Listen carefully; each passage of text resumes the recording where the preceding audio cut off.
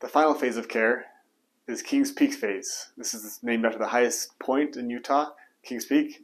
This is the our this is our optimal performance care.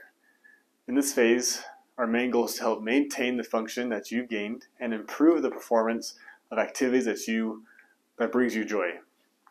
That might be playing better on the golf course, improving your mile time, being able to hike longer distances, the time you play with your kids, and maintain the activities of function that you love doing and want to do long into your life.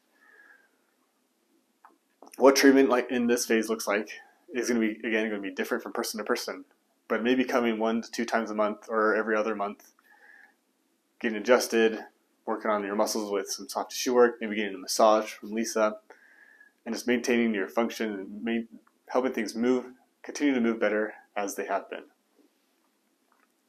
and then working on a weekly strengthening the strength and mobility program to increase your performance from home. This is the third type of person that that comes to see us. You're not dealing with significant pain. You may have pain that comes up here and there. You've fully recovered from a major injury.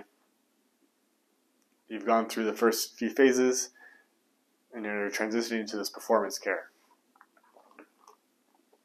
You're getting ahead of the curve and taking care of your body to prevent injuries and perform all the activities that you love that you love doing long into your life. These are the three phases of care: Kive Peak, Mount, Mountain Tip phase, and King's Peak phase. Whatever you your goal is, we have a, we have a treatment plan for you. We have affordable and effective care to help you achieve the achieve maintain the physical goals you desire. Get treated like a pro today. Call or schedule online to get ahead of the curve and take care of your body now. We'd be happy to help you. Have a wonderful day.